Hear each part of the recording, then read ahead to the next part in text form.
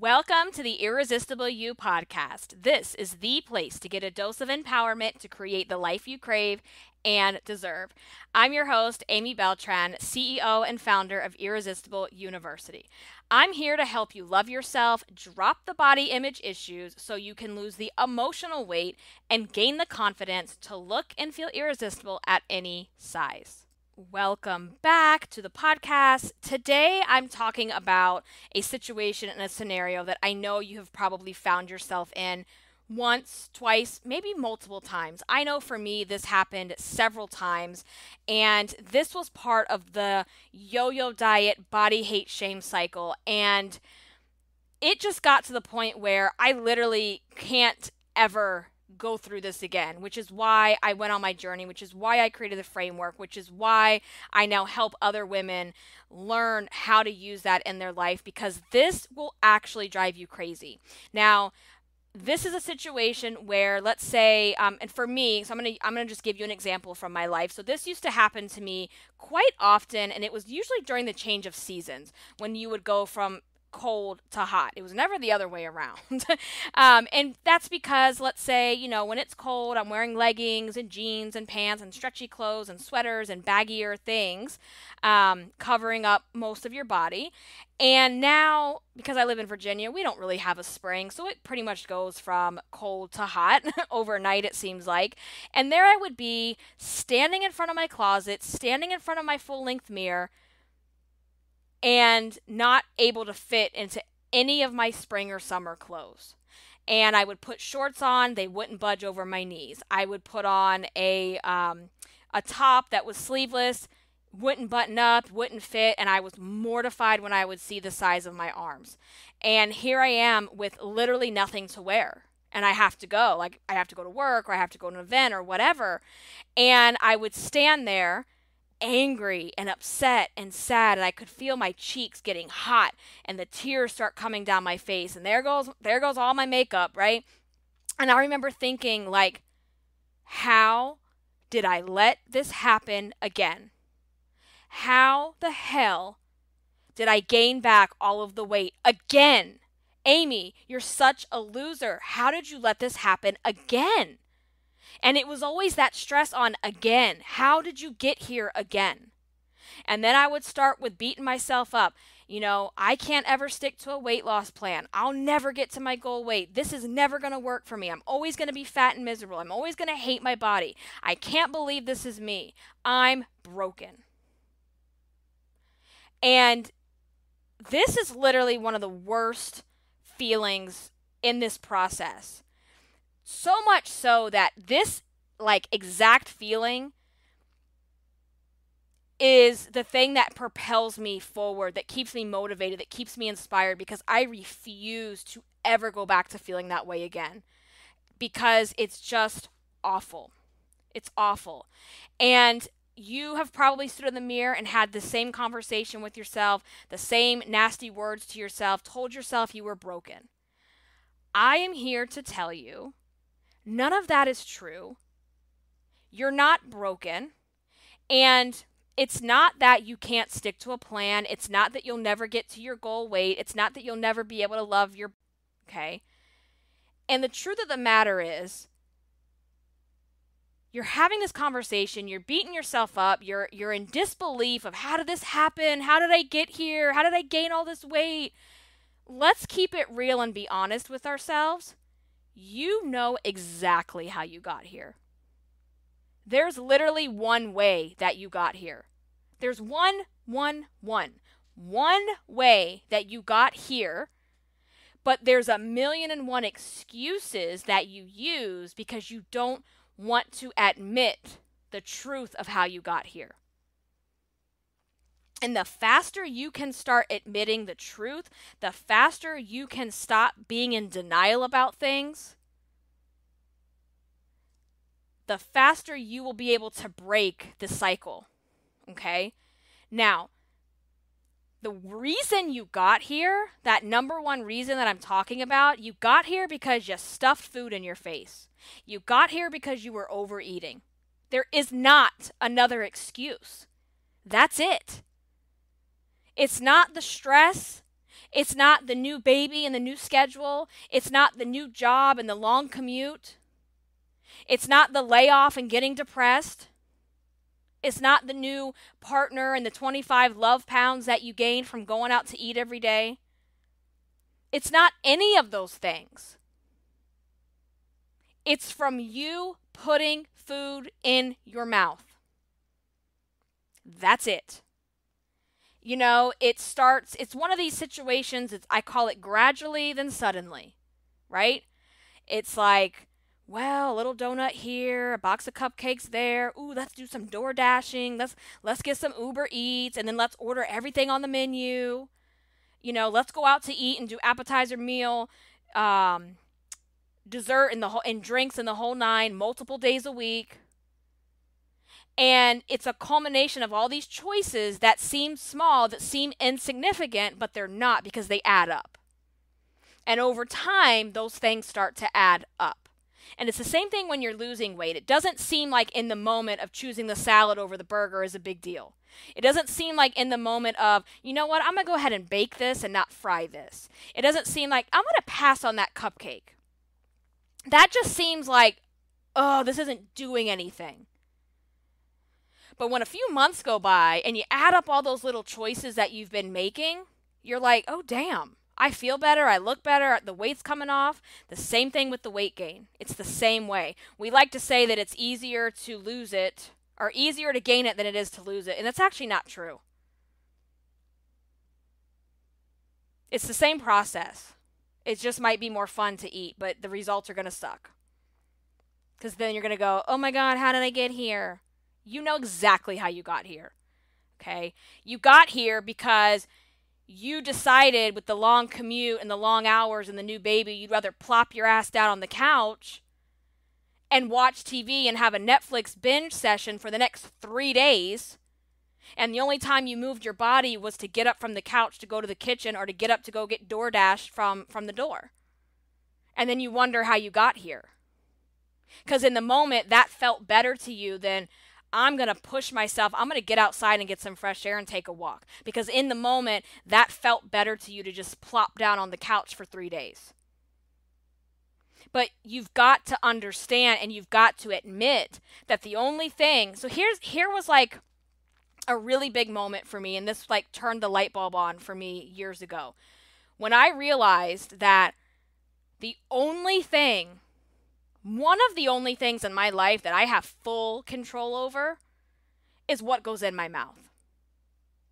I can't control my family members getting a disease, getting cancer, passing away, something bad happening in my life. I can't control any of that stuff. But I can control what goes in my mouth. No one is sitting there shoving food down your throat, tying you down to the couch, and making you watch Netflix for three days. You are choosing that. It is a choice. And so, what I want to talk about is when you have that moment of, how did I get here? How it really happens. Because ultimately, it is because you're shoving the food down your throat and you're not moving and you're not doing anything. But there's some underlying stuff that I want to talk through. And the the next piece of that is denial, okay? When you are in the season of overeating, you know, laying around on the couch in your free time and all that kind of nonsense, you are usually in denial why you're doing it.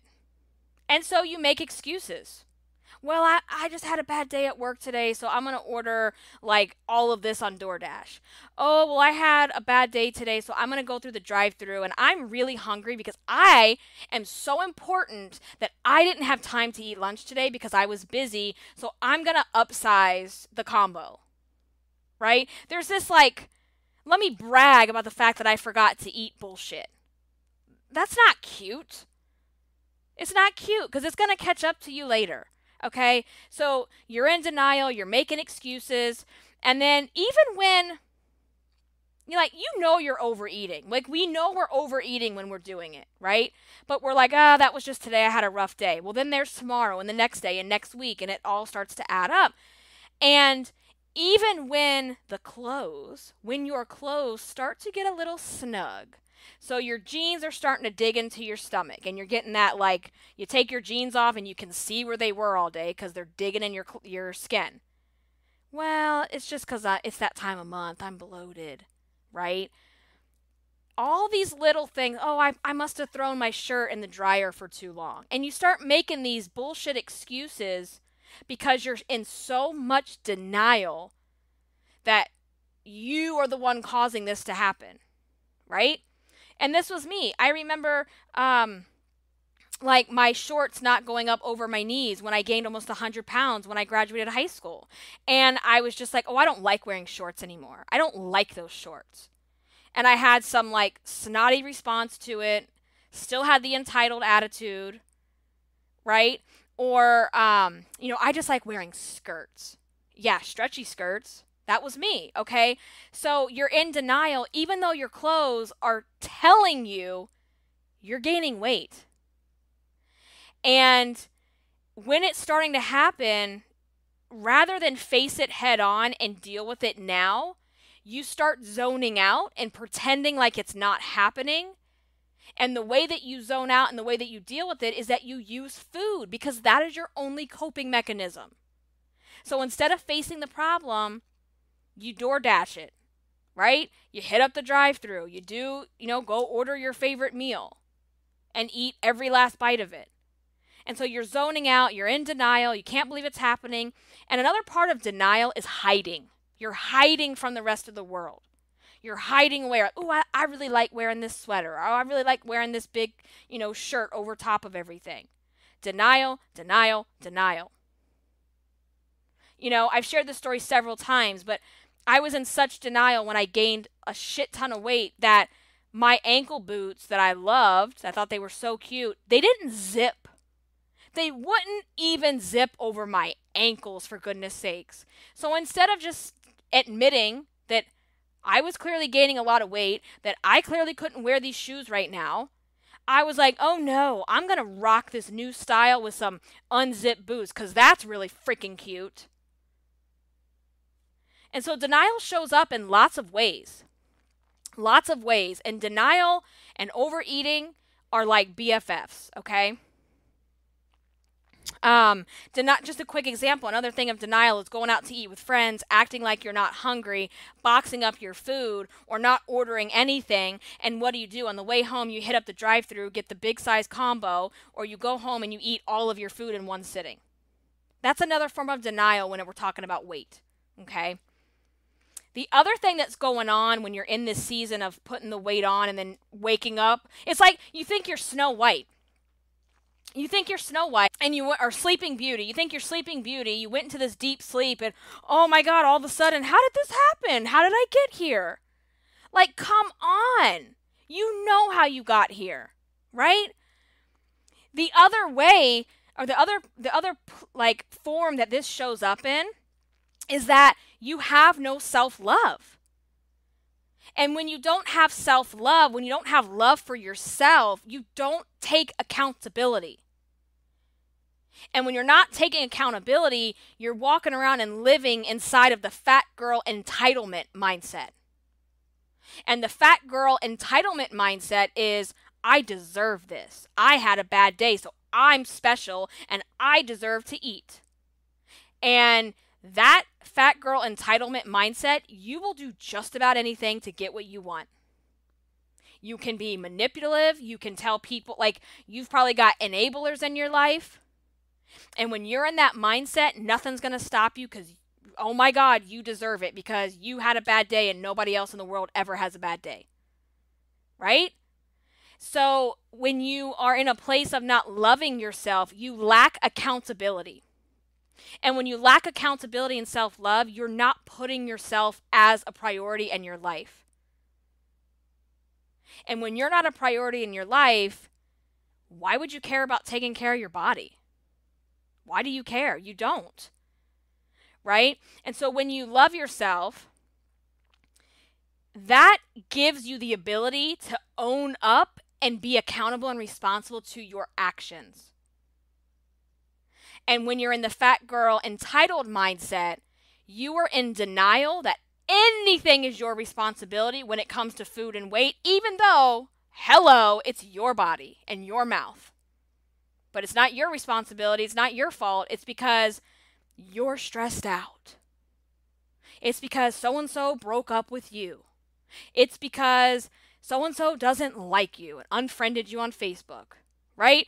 Nothing is your fault. You're not accountable to the food that goes in your mouth or the weight on your body. And when you start believing in yourself, when you start loving yourself, that's also a part of taking accountability. Because when you have a healthy relationship with yourself, you're like, you know what? Mm-mm.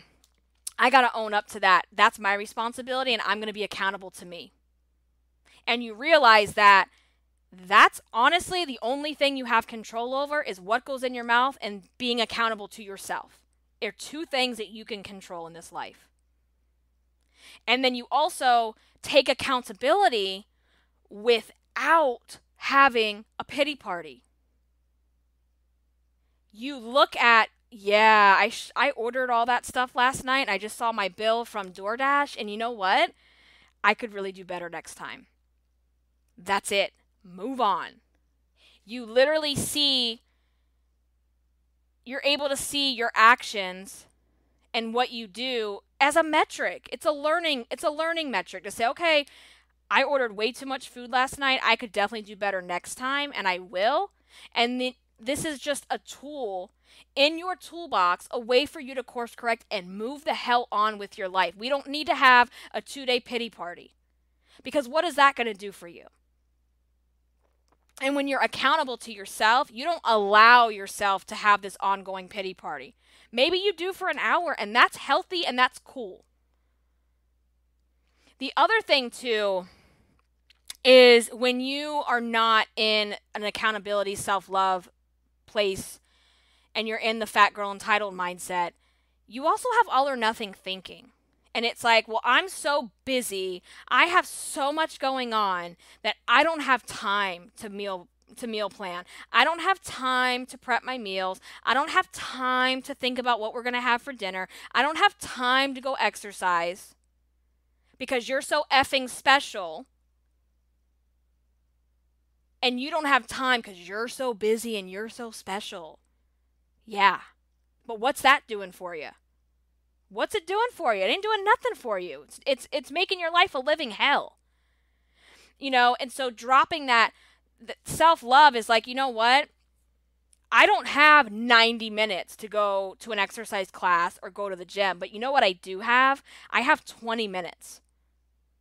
And if I could do something for 20 minutes without wanting to like die from doing it, that's a hell of a lot better than plopping my ass down on the couch and eating M&Ms and watching Hulu. Right? So, when you have self-love and you're accountable to yourself, you also know that you're going to be realistic with with what you have and that you're not just doing this all or nothing stuff.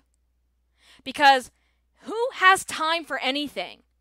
Like I hear people tell me, "Well, I'm busy, Aimee. I don't have time to join your program right now." Okay? So what are you doing? What are you doing then instead? Oh, I know. You're zombie walking through life telling yourself, I'll get to that tomorrow, I'll get to that tomorrow, I'll get to that tomorrow. And the next thing you know, you wake up one morning, put your shorts on, they won't go over your knees, and you're going, oh my God, how the hell did this happen?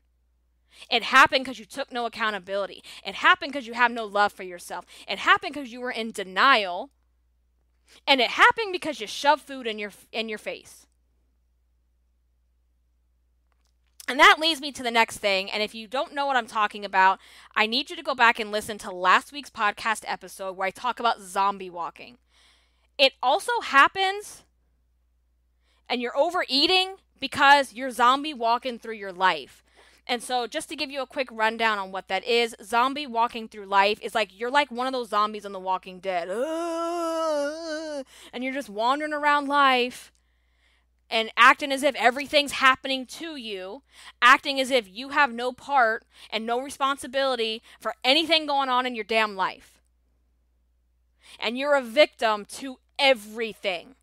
If you are that person who complains and finds the negative in every single situation, I'm talking to you, boo. The zombie walkers just think that this is how it is. This is just my life. It'll always be like this. I have no control. And the zombie walkers don't ever stop and question things because when you stop and question things, that's how you start breaking the pattern. That is how you throw a wrench in the yo yo diet body hate shame cycle. Stop, drop, and roll, baby. You got to stop and you got to question, and that's how you start breaking patterns instead of just walking through life like you're a damn zombie. Wake up! Wake up! So, when you're zombie walking through life, you're not feeling things. You're not questioning things. You're just accepting that this is just the way things are and you just and that the zombie walker is the one who's always saying I can't stick to anything because you keep trying to stick to the same thing hoping for different results. And then when you don't get different results, you're like, "Oh, I suck, blah blah blah." I mean, come on. So, the next thing um, that you're when you're in this zone and you're overeating and you don't know how you got here is because you're not mindful. And one of the, uh, so in my Irresistible You signature program, I teach the Irresistible You framework. The Irresistible You framework has five steps, or five, I call them five guiding principles because they're not linear steps. And one of the guiding principles is called be in the moment. And be in the moment is when you are mindful. It is when, it is literally the opposite of zombie walking. Being in the moment is when you are self aware of what is going on around you. It is when you realize that you have a responsibility and an accountability to take control of areas of your life that you can plan for, that you can control. So when we're talking about weight and body image and all this kind of stuff, you know, this is when you're thinking ahead. You're planning and tracking your meals. You're drinking water every day. You are doing a morning journal as the catalyst for your day. I do a morning journal every single morning. And today my my morning was rushed and it was crazy and I did not get a chance to do it and I kid you not it was like all of a sudden I felt the anxiety like rising and I was like, "Whoa, wait a second. Uh-uh, let's fix this." Because doing that morning journal it sets the tone for the day and it gets all the crap out of your head. So, being in the moment and staying mindful of your choices, of what goes in your mouth, of how you're moving your body, of how you're living your life, and not zombie walking, the person who stays in the moment and is a mindful person doesn't wake up six months from now and go, oh my God, how did I get here? No. They're just like, okay. You know, they don't wake up and go, oh my God, I gained 50 pounds. And if they did, they knew that it already had. They like came to uh, what's the word? Like it wasn't a surprise, right? But most people, if they're being mindful and staying in the moment, they're not going to wake up with 50 pounds and go, Where'd this come from? Oh, I can't imagine where this came from. So, another thing, too, is when you are waking up one day going, How did I get here? How did I gain all this weight? I told you there's one way. You put too much food in your mouth. And that's because, but then you blame it on all this other stuff. You have all these excuses. Well, you put food in your mouth because you don't have any other way to cope with things in your life. And so that's easy for you to say, well, it's because I'm stressed out. Well, it's because someone called me a name. Well, it's because this happened. Well, it's because that happened because you don't know any other way to cope with anything in your life. So it's a very easy cop out to say, no, I gained the weight because I, I was having a really hard time. And so when you don't have any other coping mechanisms, when you don't have any other tools or resources in your tool belt, and you've only used food basically your entire life to cope with anything bad going on, what do you expect? What do you expect? But what have you done to change that? And if you've never done anything different to change that, why in the world would you expect anything to be different this time? well, I'll just get back to the six week diet plan. What's that doing for you? What did that do for you the last 25 times that you tried it and failed at it? What has that done for you? So, you have to find other ways to cope with things going on in your life. And one of the things I mean by that is, and this is, I'm giving you some more stuff here, like this is one of the other guiding principles, is you have to feed your soul. And to feed your soul means I don't just spend my free time Netflixing and chilling on the couch. Now, listen, I love a Netflix binge just as much as everybody does, and I need those like veg out times in my life. But if I'm doing that all the time in my spare time, there's a problem for me. And this comes with knowing you and knowing your personality and knowing what you need to fill up your life in other ways. Because if you're just going to work every day, if you're just taking care of your kids every day, if you're just cooking dinner and taking care of your house and doing the mundane stuff that we have to do just to survive, and you're not filling in the, the white space or you're not making white space for anything else, you're to be pissed off you're gonna feel resentful and you're just like, I'm just gonna sit on the couch and eat. Right? And so for me, the way I fill my cup, the way I feed my soul is I like to get outside. Now, this 90 degree, 100 degree weather has got me like, I am like pressed. Like, I am done with it. I am over it. I need some nice, cool fall weather. Thank you. But I love to be outdoors. I love to go on walks with Chewy. I love to go out with Catalina and my husband and like go out and do fun, adventurous stuff where we just go to a new place, right? And we go find a new dog friendly restaurant and we have fun and we laugh and we go kayaking. You know, that's one of the ways I fill my cup. Another way I might fill my cup is like going by myself and to the nail shop and getting my pedicure and getting my nails done. That's you know, it's self care, but it's also like that recharges me and it feeds my soul because it's time with me. And I have dates with myself once in a while where I will go get a pedicure, go get a foot massage, and have a they there's a place I go to, they give you mimosas and the whole nine, and then I go out to eat at my favorite sushi restaurant.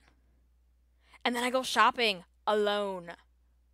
Right? That's another way. So feeding your soul, if you're not doing this stuff and you're just in this zombie walking routine of like go to work, come home, eat, eat, eat, shove the food down your throat, eat a bag of M&Ms in the car, eat all this stuff because that's the only thing in your life that's bringing you any ounce of happiness.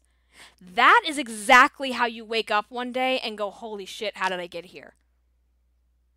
You got here because you were asleep. You got here because you have no other way to cope with the things in your life. You got here because you're not doing anything nice for yourself because you have no love for yourself. You didn't get here because of anyone else in your life. You did not get here because of any circumstance in your life. You got here because of the choices that you decided to make. That's it. Is that hard for you to hear? Yeah, maybe for some of you. But I'm not here to hold your hand and coddle you and tell you that what you're doing right now is great because it's not. I would be doing you a disservice if I told you those things, right? My job is to hold up a mirror to you and your actions for you to realize, like, oh shit. And I can do that in a confident way because I have been in your shoes. And so I can call you out on your stuff because I know what you're doing because I've done it right? And if people around you are just people that are like patting you on the back and telling you, "Well, it's okay. We we all eat M&Ms sometimes." That's not helping you. And it's like, yeah, we all eat M&Ms sometimes, but when you're eating them every single night to go to bed and watch TV, that's a problem. That's a problem. And it's a problem especially if you feel miserable. If you're overweight, if you feel miserable, if you're not happy with where you are in life, that is when it's a problem. If you're eating M&Ms every night and you don't care and you feel great and you're happy and your life is perfect, I don't even know why you're listening to this. But if you're doing that every night and you're fat and you're miserable and you hate your body and you're disgusted and you're the, and you're constantly going, "How did I get here?" then like this is so for you. This message is for you. And I'm so super passionate about what I say and what I talk about because you don't have to live your life like this. This is not the way you're supposed to be living your life. And let me tell you real quick this was not part of my notes, but I'm going to just throw this in here because I think it needs to be said. I don't know when you think you're going to start doing what you say you're going to do. I don't know how long you think you have in this life. And I don't know if you assume that you're going to have all this time to have a do over because you're not. Every single day that goes by is one day that you are choosing to live like this. And are you going to wake up in 10 years and 5 years and go, "Oh my god, how did I get here?" Are you going to hit that next milestone in your life of age, 30, 40, 50, whatever and go, "Oh my god, I can't believe I'm still doing what I'm doing?" Do you just think that poof, it's going to magically change just because you want it to? But yet your actions don't reflect what you really want to do? How's that working? right? So if you're sitting here and you're like, yes, girl, this is speaking to me, like I'm miserable, like you have to take and make a decision that, all right, well, I'm going to keep living the way I'm living because now I like I really know it because she told me this is what I'm doing and I really I really like this really speaks to me so I know this is how I'm living or let me make a decision to make a decision. Let me decide that my life is worth so much more than the way I'm treating myself right now. Okay? So that's it, right? That's it. Um, I hope this resonates. I hope this is helpful.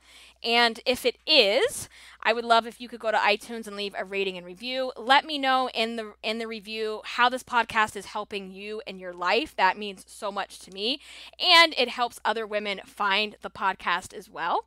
And then, if you're not a member already, I have a free Facebook group called you guessed it, Irresistible You, where you can go over and join totally free, have discussions with me, with the other women in the group, get support. And I do a weekly discussion thread in there around the podcast. So that is going to be the place where we go and we talk about the podcast, share your aha moments, post your questions, all of that good stuff. So that is listed here in the show notes for you if you are not a member go request. I will get you into the group as soon as possible. And also, if you haven't done it yet and you are not a member of my signature program, I invite you to sign up for my free training. In my free training, I will walk you through my three secrets to look and feel irresistible at any size without another diet. And in that training, in addition to those three secrets, I also share with you more about the Irresistible You Signature Program. So, if that is something that you are wanting to learn more about, if you're curious, if you're on the fence about it, I definitely suggest you coming into that free training so that you can learn more. And I love talking with you guys. I love having these discussions and doing these podcasts. I will catch you on the next one. And until then, stay irresistible.